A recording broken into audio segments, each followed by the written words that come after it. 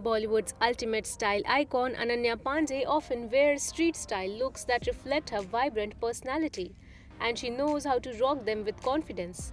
Her latest look is both comfy and casual yet stylish. Ananya Panday effortlessly coordinates her wardrobes with the seasons, setting summer fashion goals with her latest glam yet casual avatar. Stepping out of the Jhalak Dikhhla Jaa sets, she exuded chic and confidence in an orange crop top paired with denim skirts.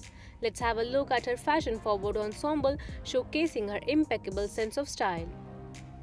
Ananya Panday's wardrobe is a mix of versatile numbers like skirts, floral dresses and gowns and for her latest look she adopted street-style fashion. The actress's outfit featured a sleeveless ribbed orange crop top with a closed neckline and with her orange crop top she paired denim skirts. Ananya did not pair any accessories with her outfit and gave a minimalistic approach to her street style, focusing on the statement accessories. She only wore white sneakers with white socks, which gave her a sporty touch. Sneakers are an essential part of the street style look. Ananya also kept her makeup very light, wearing nude lipstick and eyeshadow minus the kohl and tying her hair neatly in a ponytail. Let us tell you, B-Town diva Ananya Panday made her Bollywood debut with Karan Johar's film Student of the Year 2. The actress was last seen in Kho Gaye Hum.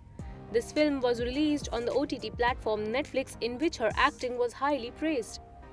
Earlier, the actress was seen in Dreamgirl 2 with Ayushmann Khurrana. Ananya Panday's outfit is cool and casual, ideal for summer. Fans love how Ananya's fashion choices are always fashionably on point. What are your views about her latest appearance? Please share your thoughts with us in the comments.